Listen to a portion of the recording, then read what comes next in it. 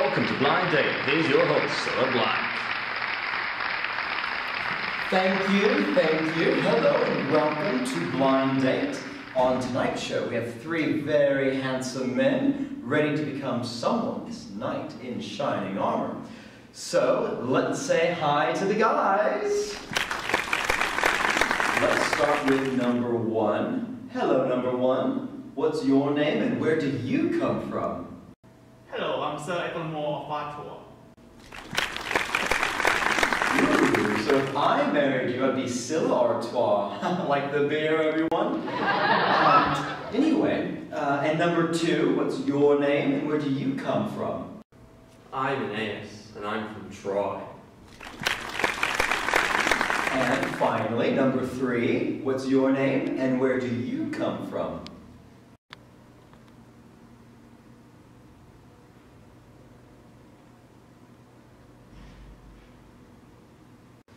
Well, three handsome knights. Let's meet our leading lady, though, holding out for a hero. Hello. Please have a seat. Hi, I'm Mary from London. I'm looking for an old-fashioned romance and a real charmer to sweep me off my feet. Well, that's good because we have three guys which we know you will enjoy, and I hope you got some questions for them. Yes, Cilla, I do. My first question is, where would you take me on our first date to really make a good impression? And that's for number one. Well, I really do think that absence makes your heart grow fonder. And it takes me a really long time to get ready for a date. So I'll probably leave for about, oh, seven years. Then I'll come back for a bit of grumpy pumpy. Then I'll leave again for another seven years. And then I'll come back and pick you up in my car. Um, how about 8.30? So, um, number three.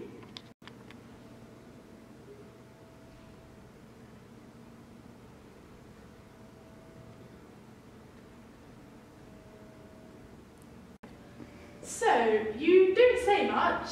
Maybe you're a bit shy? Guess you'd like to take me somewhere where we could be together but not talk much. Maybe the cinema? I'm sure once you get to know me, you'll realise I'm not scary and you'll be a bit more chatty. If not, I usually find that after a stiff drink, even the quietest guys can become dead fun. Oh, well, good answers from all the men. Um, so, Mary, what's your second question? Um, my second question, Cilla, is that my parents are really protective of me. Hmm. I've always been their little princess. So, my question is, how would you persuade them that you're the right guy for me? And that's number two. Well, I really know the importance of family, and I literally went to hell and back for my dad. So I know how hard it is when they disapprove.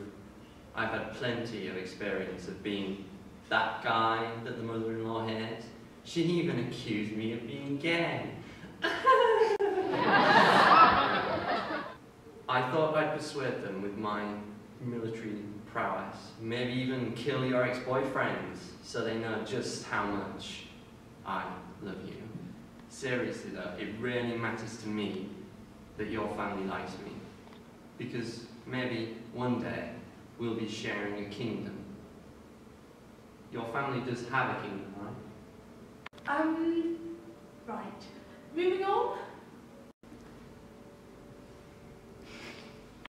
I also know about disapproving parents, and I'll carry out any task they set me to prove myself worthy of your hand. Even if at first they seemed impossible, I wouldn't even let giant challenge stand in the way of our being together. I'd even slay a dragon for you. Though as I said before, all of this might take a while, so you may have to be good at waiting. Also, how do you feel about boats? Like, sea journey in general? Um, well, I've been on the ferry to France before. Hmm, good enough. Okay, well, that seems nice. Uh, so, Mary, they all seem pretty dashing so far. Um, I don't know how you'll manage to choose between the three of them, but to help you out, what is your third question? My third question, sir, is How would you impress me to show me that you're the only one for me? And that's for number two. Well, my mother is Venus, so I think I charm you with my knowledge of love. But failing that, I'm handsome, rich, and good with my sword. I mean, what's not to like? Right, and number three.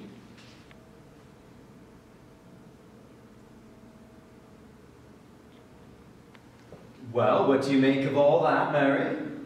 I think that the fact you're willing to listen really sets you apart from the other guys, and I think you're happy with who you are. You don't need to prove yourself to me. I also think that you're the really faithful type and won't suddenly turn out to be someone completely different. So, Mary, that's all of your questions, but before you make a decision, here's Graham with your options.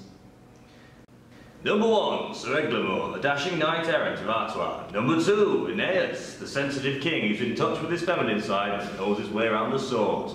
Number three, it's not so much blind date as blind, deaf, dumb, and possibly dead. We're not quite sure who he is, but we think he's a squire. Thanks, Graham. So, Mary, it's decision time. Who are you going to pick? I think I'm going to pick, it's a tough decision, but I'm going to pick number three.